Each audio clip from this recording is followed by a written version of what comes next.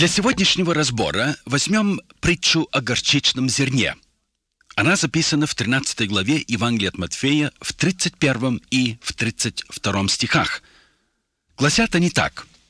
«Иную притчу предложил он им, говоря, «Царство небесное подобно зерну горчичному, который человек взял и посеял на поле своем, который хотя меньше всех семян, но когда вырастает – бывает больше всех злаков и становится деревом, так что прилетают птицы небесные и укрывается в ветвях его.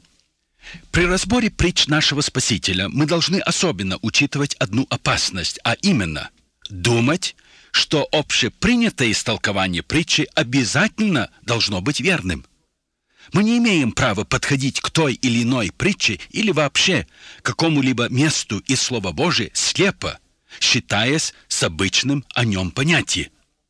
Поэтому не обязательно общепринятое истолкование данного текста должно быть верным. Оно может быть таковым, но учение, принятое большинством, не гарантирует его правильности. Никогда не забудем, что общепринятое истолкование ветхозаветных пророчеств о Мессии привело к распятию Иисуса Христа – при истолковании Священного Писания, помимо того, что мы должны всегда быть зависимы от водительства Духа Святого, есть общие принципы, которых мы должны придерживаться. Во-первых, мы должны помнить, что во всех учениях Иисуса Христа и вообще Библии существует полная гармония. Во-вторых, мы должны иметь в виду то, что во всех употребляемых Христом риторических фигурах тоже существует полная согласованность. Он никогда не употреблял одну с двумя разными понятиями. Они все употребляются в полной гармонии во всех притчах, и потому не противоречат, а наоборот дополняют одна другую. Обыкновенное и общепринятое объяснение этой притчи такое, что, мол, Господь хотел ею предсказать, великий успех распространения Царствия Божия почти всегда указывает, что притчей о горчичном зерне, которое выросло в большое дерево, распускающее свои огромные ветви во все стороны, Господь хотел показать полный и окончательный успех Царствия Божия на земле. Сама история противоречит этому истолкованию и доказывает обратное. Безусловно, рост был феноменальный – но не всегда удовлетворительной. Мы так говорим, имея в виду так называемые христианские страны. Дорогие друзья, таковых стран нет. Покажите мне хоть одну христианскую страну. Я имею в виду христианство в его подлинном значении. Есть страны, которые называют себя христианскими, но это не значит, что они суть таковы. Еще раз я обращаю ваше внимание на тот факт, что во всех учениях нашего Господа существует полная гармония. Заметьте, что в каждой своей притче о Царстве Божьем Христос указывает на то, что в этом веке, то есть во время пребывания Церкви Христовой на земле, будут затруднения, ограничения, противодействия и примеси – те, которые утверждают, что этими притчами Христос хотел сказать, что Евангелие будет проповедано до тех пор, пока весь мир не обратится, сильно ошибаются. Христос этому никогда не учил. И ни в одной из притч этих вы такого учения не найдете. Как пример возьмем теперь согласованность риторических образов, которые употреблял наш Господь. В них вы не найдете никакого противоречия. Во всех притчах, например, сеятель, сеющий семя, является образом Сына Человеческого. Семя означает Слово Божие, которое воспринимается человеком, и в результате он делается Сыном Царства. Поле, на котором посеяно семя, представляет мир, а птицы символизируют злых духов, которые похищают доброе семя – эти сравнения символических образов с их настоящим значением согласуются во всех притчах. Итак, оставляя всякие предрасположения, подойдем к нашей притче с одним желанием, чтобы она нам сказала именно то, что Господь хочет нам передать ею. И я уверен, что и эта притча послужит нам поучением и назиданием. В этой притче Христос говорит, что горчичное зерно, которое меньше всех семян, выросло до размера дерева. Нормально горчичное зерно никогда не вырастает в размер дерева. Горчица является кустарниковым растением, но отнюдь не деревом. И если бывает, что она доходит до размеров дерева, тогда такое явление неестественное ей, ненормальное. Господь хотел этой притчей сказать, что в нашем веке будет неестественный рост и развитие этого горчичного зерна до величины дерева. Указав на развитие и рост горчичного зерна, которое превзошло пределы натуральной нормы, посмотрим, какими природными качествами обладает христианство. Кротость, смирение, благость, служение – это суть плоды и признаки подлинного христианства – Признаки истинного христианства всегда сходны с тем, который сказал «Я кроток и смирен сердцем», и подобный тому же, который сказал «Сын человеческий не для того пришел, чтобы ему служили, но чтобы послужить и отдать душу свою для искупления многих».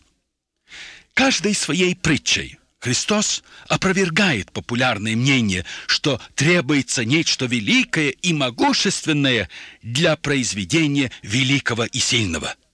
Заметьте, начало Царствия Божия подобно зерну горчичному, меньшему всех семян. Наш Спаситель является лучшим из всех примеров. Он пришел на эту землю, подобно зерну горчичному – младенец Вифлеемский, родившись в яслях, живя 30 лет в неизвестности в незначительном селе Назарете. Начав свое служение с двенадцатью простыми, необразованными рыбаками, он, как говорит апостол Павел, будучи образом Божьим, не почитал хищением быть равным Богу, но уничижил себя самого, приняв образ раба, сделавшись подобным человеком, и по виду став как человек, смирил себя, быв послушным даже до смерти и смерти крестной. Посему и Бог превознес его и дал ему имя выше всякого имени, дабы перед именем Иисуса преклонилось всякое колено небесных, земных и преисподних. И всякий язык исповедал, что Господь Иисус Христос в славу Отца. Это и есть путь Божий малое, незначительное, всецело отданное Богу, Бог сам превозносит. Иисус Христос сам избрал именно этот путь, путь смирения, послушания и, наконец, путь крестной смерти. Но зато Бог, Отец, превознес его и дал ему имя выше всякого имени. Таков был путь Христов. Христос сказал, «Кто мне служит?» Мне да последует, и где я, там и слуга мой будет. И кто мне служит, того почтит Отец мой». Но номинальная или видимая церковь пошла другим путем. Она пошла на компромисс с тем, что человеческое, и не последовала всецело тому, что Божье. Тут мы видим как раз противоположное кротости, смирению и служению. Самовозвеличение, превозношение, надменность и властвование. В любой части истории христианства, где это проявлялось, там, можно сказать, развитие было неестественным христианству. Но где истинное Царство Божие, там вы найдете как раз противоположное. Христос сказал, кто из вас больше, будь как меньший, и начальствующий, как служащий. Да, номинальная церковь сделалась величественной – и настолько могущественной, что стала гордой, господствующей, вместо того, чтобы в смирении служить. Сколько несправедливости было сделано во имя христианства. Припомним, как еще в начале Христос предупреждал своих учеников об этой опасности. Помните его вопрос «Кто больше в Царстве Небесном?» Христос обнаружил, что у них было стремление к самовозвышению, к влиятельности – к положению и власти. И на свой же вопрос Христос ответил им чудной иллюстрацией, взяв ребенка и сказав, «Кто умолится, как это дитя, тот и больше в Царстве Небесном». Еще ярче и яснее проявляется учение Христа в Кесаре Филипповой, когда Христос начал открывать своим ученикам то, что ему надлежит идти в Иерусалим и там много пострадать от старейшин и первосвященников и книжников и быть убиту и в третий день воскреснуть. И тут мы видим, как Петр начинает прикословить Христу, говоря, «Будь милостив к себе, Господи, да не будет этого с тобою». Послушайте, как ответил ему Христос. «Отойди от меня, сатана, ты мне соблазн, потому что думаешь не о том, что Божие, но что человеческое». То, что Божие, это путь крестный, который ведет к воскресению, к окончательной победе, к жизни с избытком. То, что человеческое, всегда ищет своих личных интересов, своих выгод, не желая идти Божьим путем, и в конечном итоге теряет все. Полная утрата – Христос сказал, любящий душу свою погубить ее, а ненавидящий душу свою в мире сем сохранить ее в жизнь вечную. Уже в апостольской церкви мы замечаем, как вкрадывается человеческое, подобно птицам небесным, укрывающимся и гнездящимся в ветвях дерева.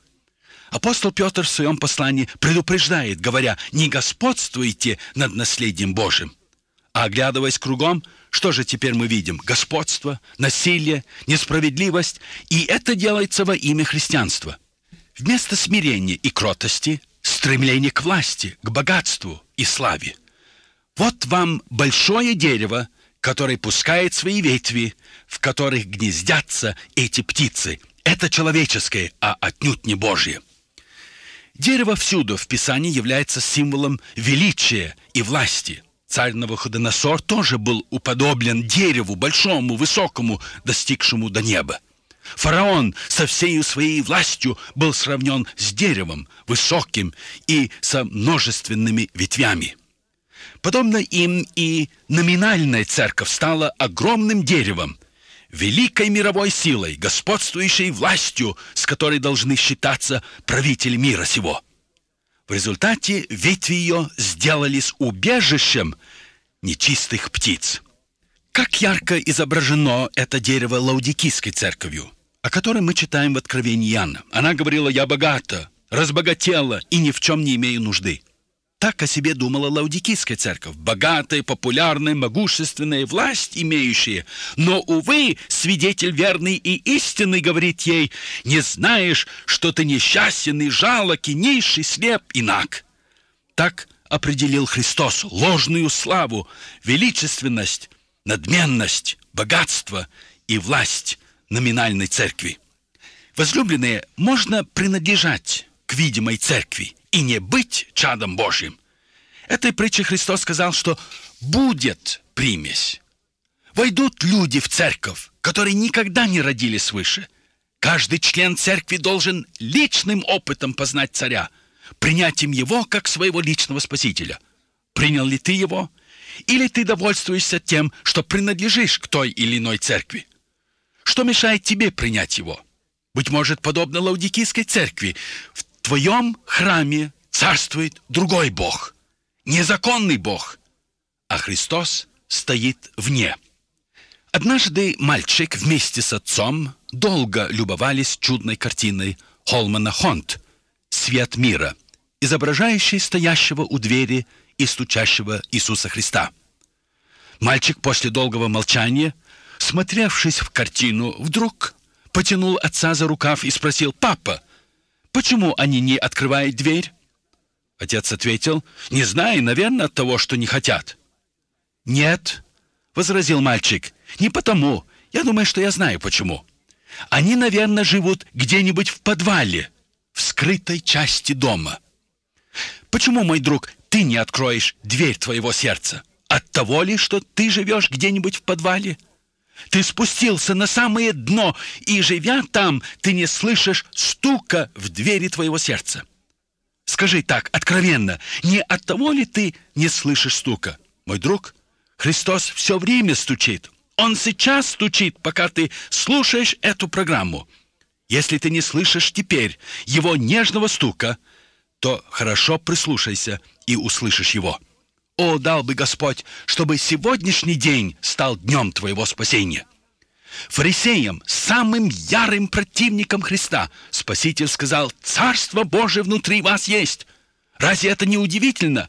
Возлюбленные, каждая душа человеческая, будь она разбойника на кресте или самого нравственного добродетеля, как Никодима, является потенциальным Царством Божьим. Тебя Господь создал для себя. И до тех пор, пока ты не впустишь законного царя в его царство, в твое сердце, то есть, ты никогда не найдешь истинного счастья. Царство Божие внутри каждого из нас. Кто бы ты ни был. Но вопрос, царствует ли в нем законный царь, Иисус Христос. А на этот вопрос можешь ответить только ты один. Не отвергай твоего царя. Прими его в свое сердце, и ты станешь его сыном и наследником его царства.